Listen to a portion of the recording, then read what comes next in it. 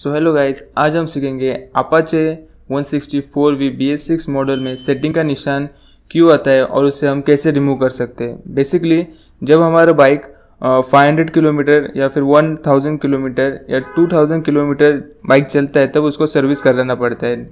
हमारे नज़दीक के शोरूम में जाकर हम उसे सर्विस कराते हैं।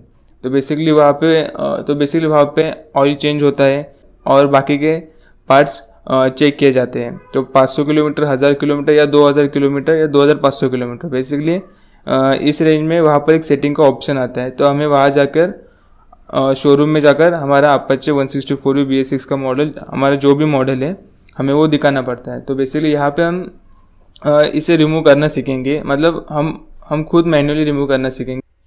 सेटिंग का साइन रिमूव करने के लिए पहले लेफ़्ट बटन दबाए। जब तक हाई स्पीड का ऑप्शन नहीं आता वहाँ पर, तब तक लेफ़्ट बटन दबाए।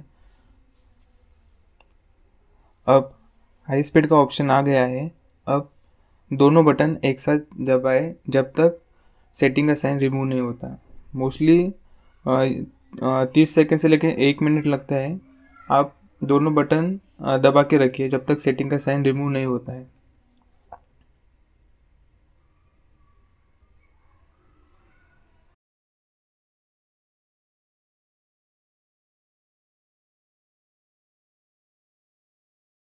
जैसा कि आप देख सकते हो सेटिंग का साइन रिमूव हो गया है। अब फिर से लेफ़्ट वाला बटन दबाइए, जब तक अपना किलोमीटर नहीं वापस शो होता। मतलब हमारा जो पहले वाला जो मीटर था, हमें वही शो करना है। तो जब तक किलोमीटर हमारा नहीं शो होता, तब तक लेफ़्ट वाला बटन दबाएँ और हमारा ये सेटिंग का साइन अब रिमूव हो चुका है।